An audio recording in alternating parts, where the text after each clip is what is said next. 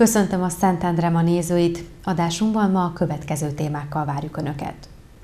Több milliós támogatást nyertek, referencia óvoda lehet a Hold utcai tagintézmény. Idős korban is aktívan, az országos könyvtári napok keretében az internettel ismerkedhettek a szépkorúak.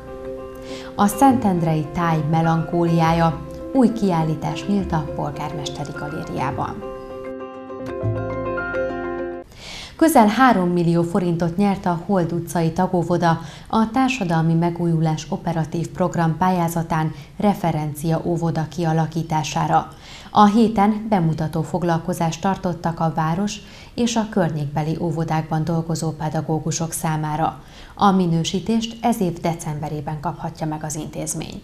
A támogatást idén márciusban ítélték meg az óvodának, a pályázati szerződést pedig áprilisban kötötték meg. A pályázatunknak a felkészülése, maga az időtartama az áprilisba kezdődött, akkor volt egy nyitó ünnepségünk.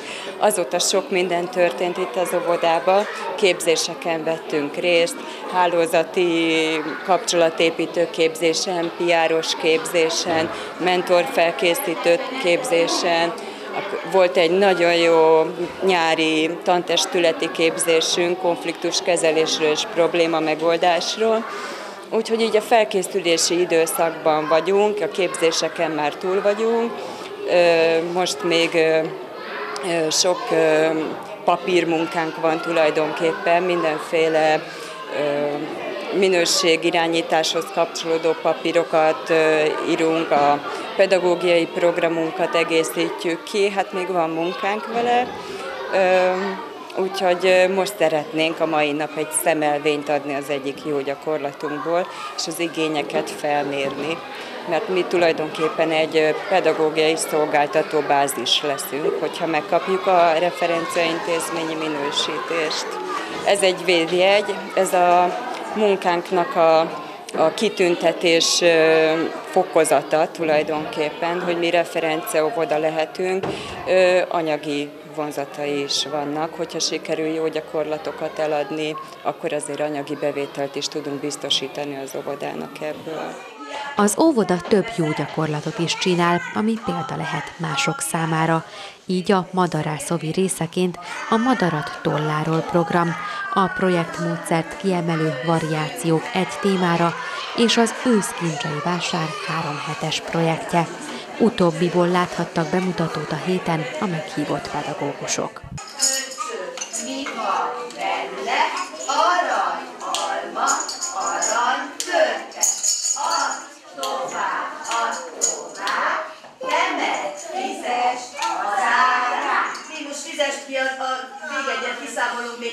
Kifizessen, jó?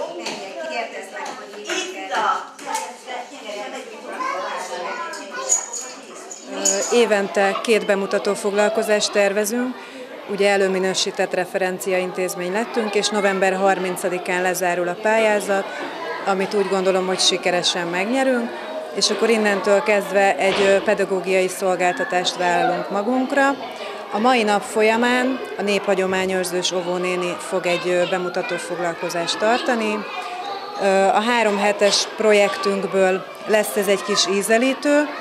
A három hetünk az a zöldség, a gyümölcs és a vásáros hétből áll össze, amit mindig a harmadik pénteken egy őszi szüreti mulatsággal, vásári mulatsággal szoktunk zárni, ami október 12-én lesz megtartva a vodánkban a teraszon, ahol a szülők és a gyerekek hozzák a portékáikat, és ezt szoktuk árulni. Sok helyről hívtunk meg pedagógusokat, Budakalászról, Pomázról, Pilisvörösváról és Szentendréről is természetesen. Az érdeklődés az nagy, tehát hála Istennek sokan elfogadták a meghívásunkat. Sajnos Budakalászon és Pomázon futóverseny van, és ezért nem tudtak az óvónénik itt megjelenni a mai napon. Eddig főként az Apor Vilmos főiskoláról érkeztek leendő óvónők gyakorlatra, ha azonban már nem csak előminősített referenciaintézmény lesz a Hold utcai óvoda, akkor már a felnőtt képzésből is kiveszik a részüket.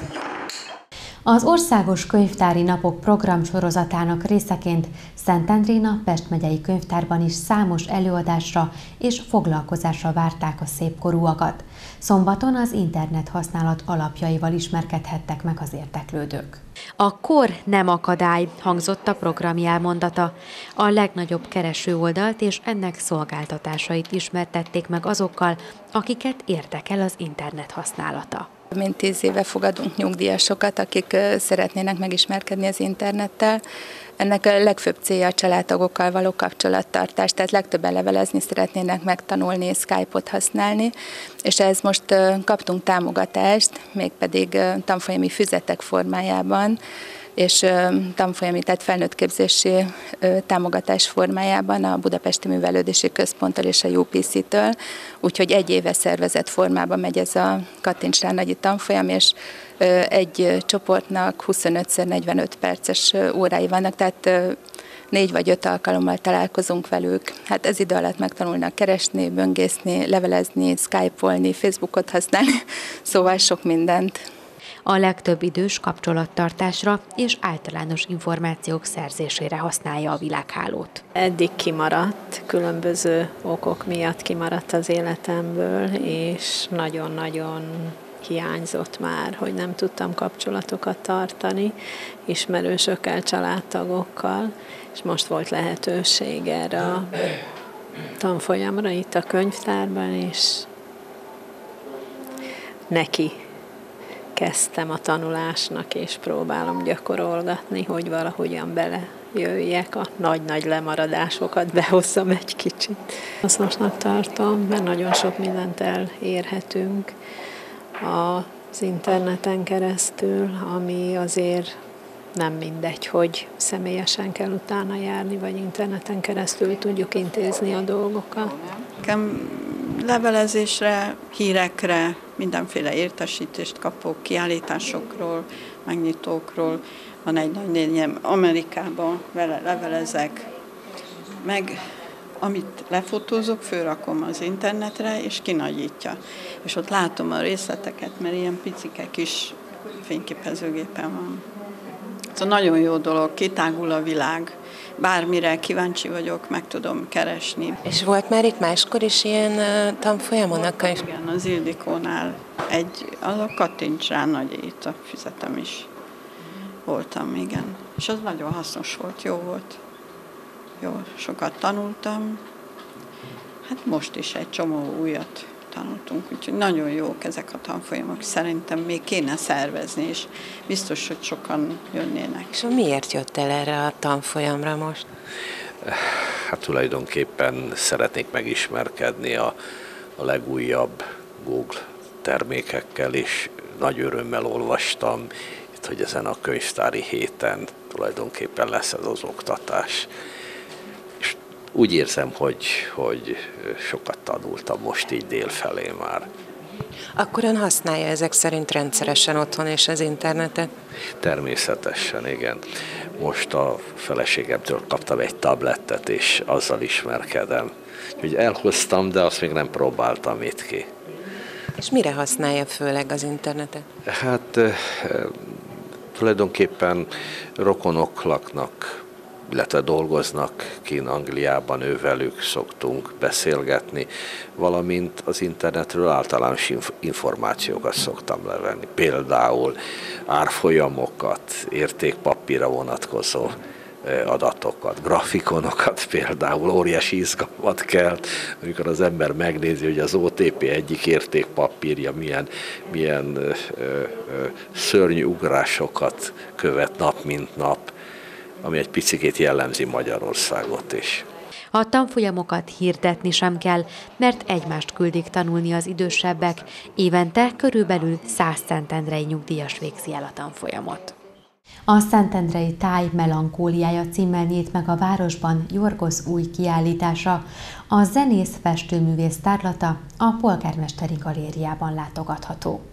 Nagy öröm számunkra, hogy egy eh, újabb szentendrei polhisztornak mutathatjuk be itt az anyagát, aki a görög kisebbségi, pontosan most már nemzetiségi önkormányzat, hiszen évele óta változott a szóhasználat, nemzetiségi önkormányzatnak is egy oszlopos tagja.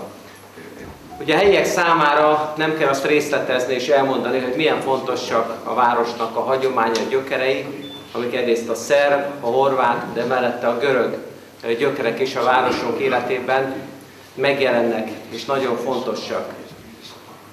Ezeket a hagyományokat úgy gondolom, hogy ápolnunk kell, és ezért is nagyon rossz számunkra, hogy 2010-től létezik már városunkban is görög nemzetiségi önkormányzat, aki a város kulturális életében is nagyon erőteljesen megjelenik, hiszen az utóbbi időszakban nagyon sok kulturális rendezvény volt, és most az ügyvédő úrral pont erről tárgyaltunk most a kiáltás mellett egy pár szóval, hogy szeretnék, hogyha ez a város életében nem csak egy-egy alkalmi fellángolás lenne, hanem minél erőteljesebben megjelenne ez a nemzetiség kultúra is, vagy a város hagyományaiba is oly mélyen gyökeredzik.